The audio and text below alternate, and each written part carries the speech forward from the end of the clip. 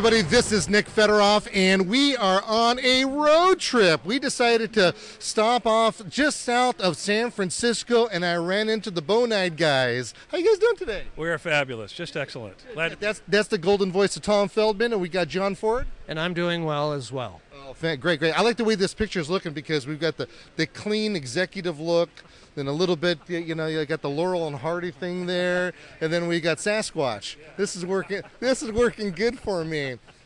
Bonide, uh, you guys, uh, I'm, I'm come over here. It's kind of hard not to see the display that you have going on and all the really fun things that you do. I know that you're the guru when it comes to to, to making it so that the consumer can see the product. What are one of the concerns that you have that makes it so easy for us to identify with Bonide and knowing if I have a weed problem or if I have an insect problem? uh, How do I identify? How do I identify with that so easily? Well, funny. That's how I. That's how I stumbled into the job. Um, Bonide was looking for a person to help them out from a marketing standpoint, and I went to a store and looked. This is 17 years ago, at this shelf of controls, and it all confused the daylights out of me. So I went to a very simple process. Granimals, when you were a kid, you know, your the Granimals patches were co- coated so you'd put your pants and shirt together. That's what we did with the product line. All of the green labels are herbicides. All of the red labels are insecticides. If it's an orange label, it controls plant disease. If it's yellow, it's an animal repellent. White label does insect and disease. Black labels for use in the home as a home pest control. So the first thing we did was try to make it easier to shop by color coding it. That's actually one of the things you shared with me. And in fact, I think that was the first thing you shared with me when you came into my office uh, uh, and said, "Look at, can you figure this out?" And it's like you really kind of have to be a knucklehead not to figure it out. Well, the whole thing was is to simplify the choice of a pesticide. I mean, it's a difficult uh, thing to do on a retail level, and we're hoping to make it easier for the consumer to choose the right product. Now, one of the things that I've noticed that you guys have is not only do you have uh, the traditional chemicals, shall we say, that uh, you could use to control different insects and diseases and pests and everything, but you actually go to the other limit to where you bring on these natural uh, uh, ways of controlling the insects it, that makes, uh, you know, the, the person who may not uh, understand the chemical side of it, they could work their way up through a transition. You know, we're an 85 year old company, a third generation family owned business. We like to say we serve gardeners rose gardeners, vegetable gardeners, hobby gardeners, master gardeners, organic gardeners. Whatever form of gardening a, a person does, we want to have a product for them. So we have a full line of synthetics. We have the broadest offering of natural and organic products as well. This consumer has a choice of what they'd like to buy and use. Now, John, I also heard that when you bring a product to market, uh, I mean, not to market, uh, it's very possible that you can bring a, a, product up to market and it actually never gets it because it could get turned down. You guys already spent billions of dollars just about to get that thing going. Well, I think the overall goal is is to kill the bug. When a consumer buys a pesticide, they want to kill the bug. If it's natural, that's even better for many folks today. So um, I, I don't think that there's a block necessarily on EPA, but there are regulatory means that we have to go through to register a product, and sometimes you don't get that registration. Boy, that and, and, so that's a good thing in the long. Uh, it, it, could be a good thing, but for your pocketbook, it doesn't necessarily mean it's a good thing. But we, at least we're rest assured that you've got a product that's coming out that is beneficial and can be used with all certainty to know that you're going to take care of those insects and diseases.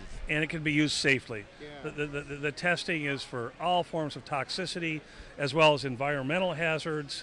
Very strict, excuse me, guidelines with the environmental protection agencies you got to meet all the requirements to get a product on the shelf.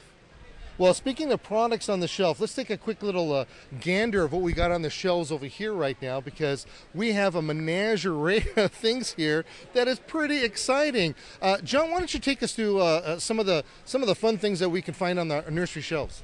Well, the selective, uh, non-selective herbicides and Roundup, uh, we call our brand name Cleanup. It's a 41% concentration.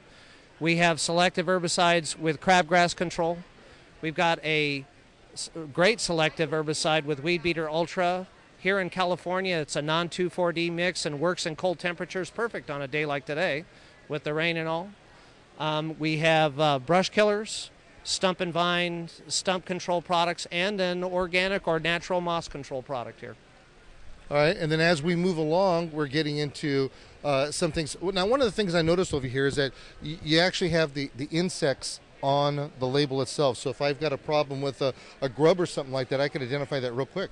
as best we can. Uh, some products that's uh, right clear front and center. Other ones they are so broad spectrum and control so many insects, it's not always uh, able to to, uh, to get them on there. The, we, we should show the folks the Captain Jack's Dead Bug Brew though, because Captain Jack's Dead Bug Brew is a pretty unique pesticide.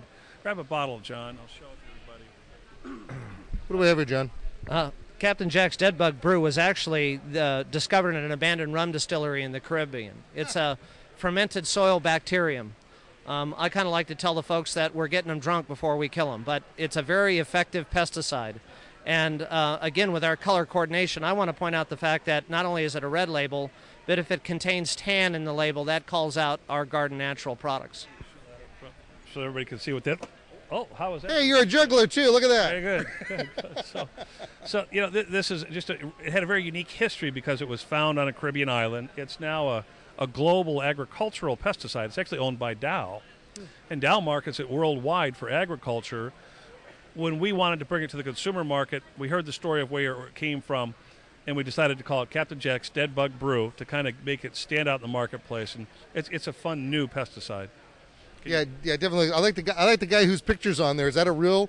Is that a real person, or is that somebody that you just uh, swipe from someplace? That is Jim Wurz who owns the company.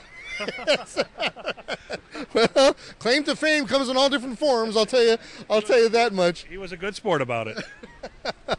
Oh, that's all right. Uh, let's continue on over here. I see things of hot pepper wax. That's also a fun thing to use in your uh, for controlling things. Right, it's a it's a repellent. Uh, it it doesn't kill the insect on contact. It just keeps the insect away, um, and can be used on edible plants up to the day of harvest. Now that's a real important thing because I know in my own garden there's absolutely no now. Don't take offense here, guys. I don't actually put any chemicals in my garden. Uh, synthetic chemicals. any synthetic chemicals. But I, I am okay with doing that. And the more that I find out that we can do this and we can uh, give it to our, our, our listeners over here, know that they have those opportunities to know that they can actually spray something and that night actually harvest it. Well, unless you got to wash it off with warm water, because if not, it's a whole mouthful of hot. Yeah.